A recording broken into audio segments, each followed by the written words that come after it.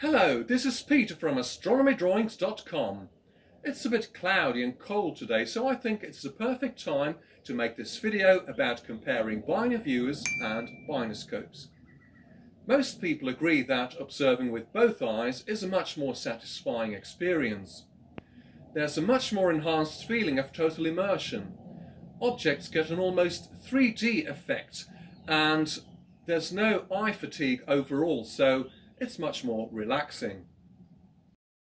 Binoviewers are, of course, an ideal entry-level means to discover the world of binocular observation, and you can already find one for as little as 3 to 400 euros. This may seem extremely cheap compared to a binoscope for which you need to fork out many thousands. However, a binoviewer is, like any astronomical equipment, a compromise that comes with a serious amount of drawbacks. First of all, a binoviewer has an internal light path of 100 to even 250 millimeters, and no telescope is capable of providing this much in-focus travel, apart from maybe Schmidt-Cassegrains and similar.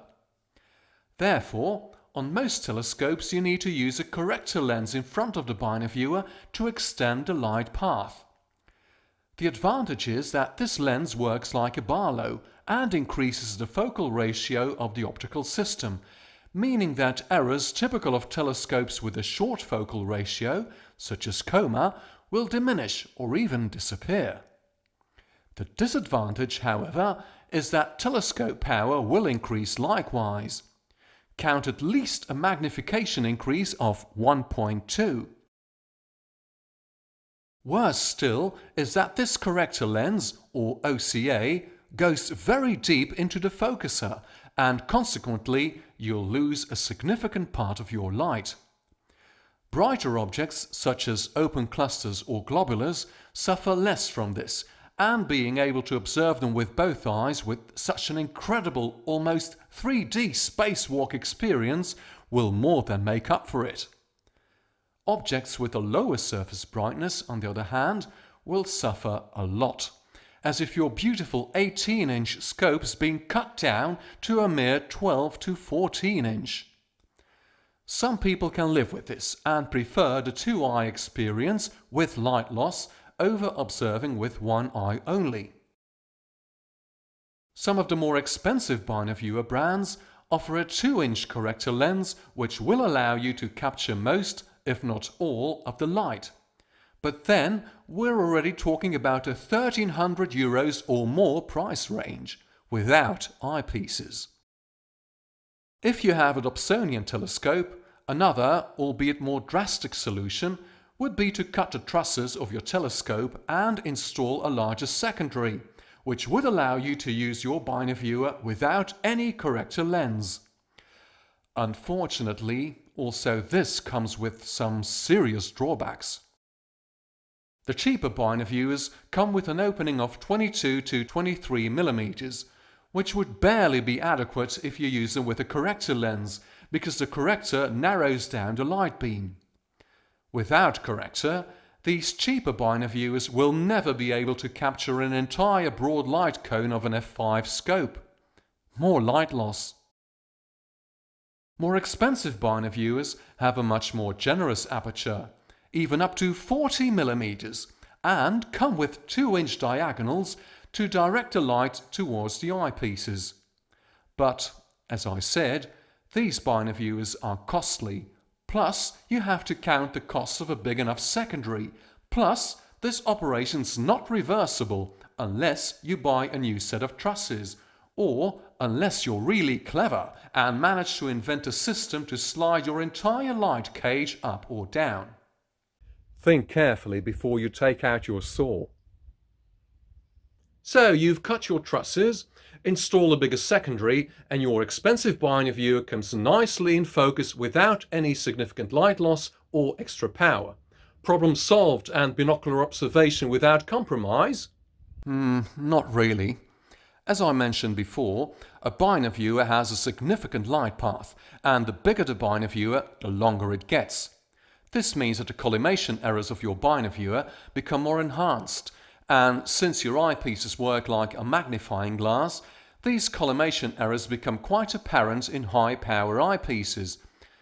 With my small, cheap Binoviewer, I was able to use 5mm eyepieces, but with this big 2 inch, I couldn't use eyepieces smaller than 10mm, limiting telescope power of my old 18 inch Dobsonian to a very disappointing 206.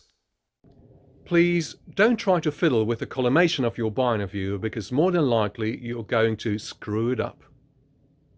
Furthermore, the Binoviewer's beam splitter loses some light on its own and therefore you will never obtain exactly the same light gathering power as without the Binoviewer.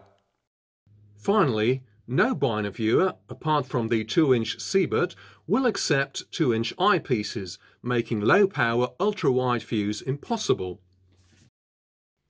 Now, I've heard people comment that when using both eyes, eyepieces with a field of view greater than 70 degrees, such as these, are useless because you wouldn't be able to see the edge of the field of view.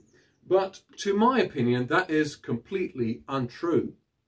Actually, to my personal experience, this may be true when using eyepieces such as these with, with a very short eye relief. But when you take, for example, these 22mm Naglers with their very generous 20mm eye relief, well, I can clearly see the edge of the field of view. Actually, eyepieces such as these become like a big window in front of you, and the field of view becomes nearly endless. To summarise, Binoviewers don't need to break the bank, and even the cheap ones will give you an unforgettable taste of the joys of observing with both eyes, whereas the more expensive ones will allow you to do so with a very limited loss of light although even those present some problems, as I've explained. Now, let's talk about binoscopes. Binoscopes allow you to observe with both eyes without any compromise. No light loss whatsoever. No additional magnification and with 2-inch eyepieces if you so desire. Just be careful not to buy eyepieces that are too large, okay? But, as I said at the beginning, they are terribly expensive.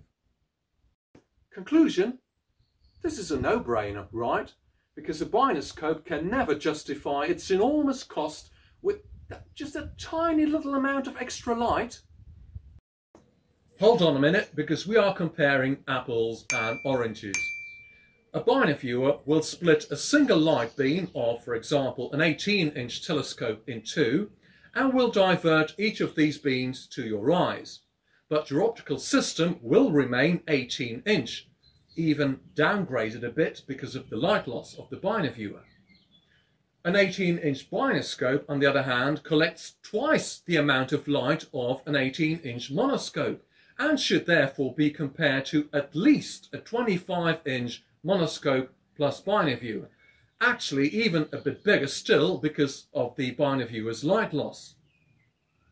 So if you have decided that bino viewing is the way for you and you want to buy the scope of your dreams and you are targeting 18 inch, well then you should compare an 18 inch telescope plus high quality bino viewer to a merely 12 inch binoscope.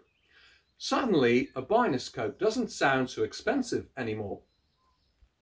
Exit pupil a 25 inch with binoviewers and a couple of 22mm Naglers, assuming no corrector lens and that your binoviewer can take 2 inch eyepieces, results in a magnification of 144 and a field of view of 0.6 degrees.